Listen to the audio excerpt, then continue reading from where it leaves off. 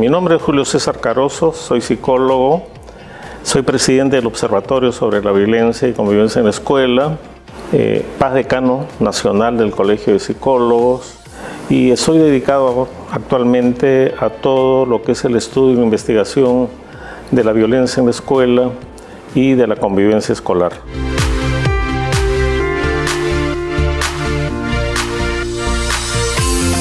La psicología es útil para la sociedad porque esencialmente todo su esfuerzo científico y profesional está dirigido a lo que es calidad de vida.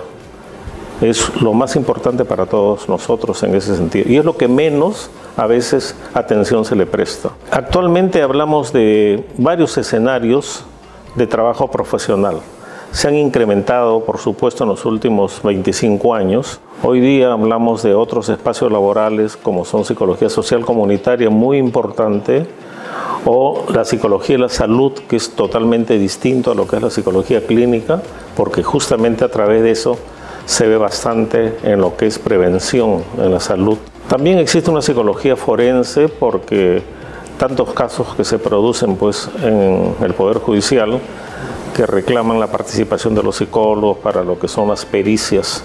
Y también hay campos como la psicología del deporte, que también se viene insinuando muy intensamente, psicología de la familia, por la misma amplitud de los conflictos que se han desarrollado en ese campo. ¿no? Son básicamente los espacios importantes, además de lo que es el campo de la investigación propiamente dicho. Quiero enviar un saludo cordial y muy auspicioso para la Escuela de Psicología que se va a aperturar próximamente en la Universidad de Ciencias y Humanidades. Es una carrera realmente la que se promete a ser muy innovadora, con un enfoque completamente distinto al tradicionalista y creo de que va a ser una gran oferta para todas las personas interesadas en la carrera de psicología.